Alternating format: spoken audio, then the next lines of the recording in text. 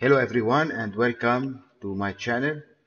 Uh, in my first video I will teach you how to update uh, Node.js if you have an older version and you want it to, you want it to upgrade it. Here is the tutorial.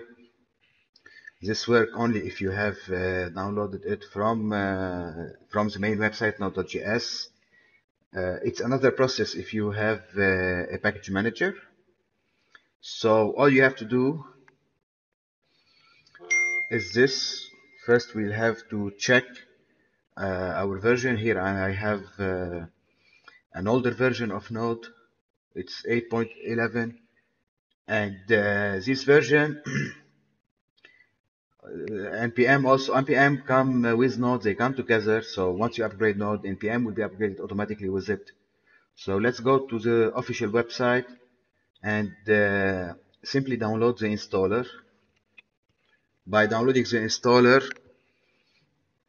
all right and uh, and running the installer it will replace the old version and uh, install the new one register it and everything so you don't have to do anything just install the new version and you you're ready to go. Whether on your uh, Windows or on Mac? It works for both systems Windows has an installer and Mac has its installer. So we'll download the recommended version and once it's done we run the installer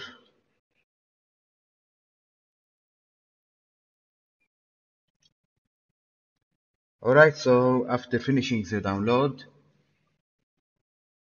now we'll install, uh, we run the installer.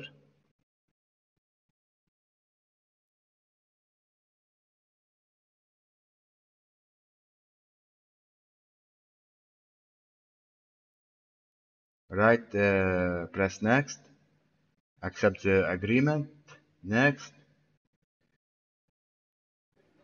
choose your uh, your destination uh, and press next.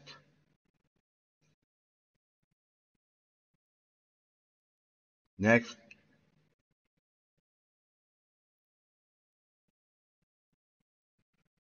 And install. Once it's finished you you'll have the new uh, the new uh, version uh, ready to use and the old one will be removed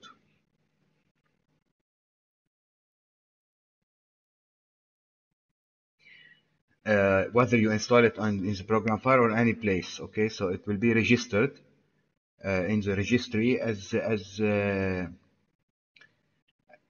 as a new version. Nothing else to do. And voila it's done. Now let's check uh, the version if it's upgraded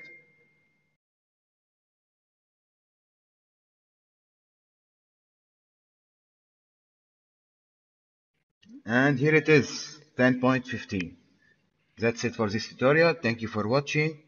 And uh, I hope uh, it will uh, help you uh, in case you're asking how to upgrade node. You have an old version and you want to upgrade it.